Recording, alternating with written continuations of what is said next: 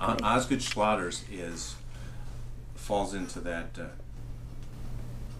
knee pain that we just sort of described. And historically, it used to be just a problem we saw in boys, and that was because when I was a kid, boys were the active athletes, but now girls are equally, if not more active than boys, so we can see it in girls. So before you have finally stopped growing, there are growth plates of where the tendon attaches to the shin bone. And Osgood Schlatter's is basically an overuse where this muscle and tendon continues to pull right on that bony attachment. Sometimes you'll have a, a little bump appearing on that.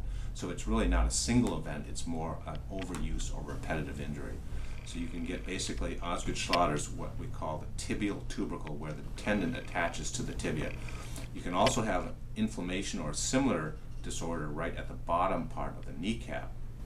And that's a different syndrome called Sinding Larsen Johansson syndrome. The name isn't important. It basically is essentially the same process, only occurring at the bottom part of the kneecap. Treatment for those are usually rest, ice, and an aggressive stretching program.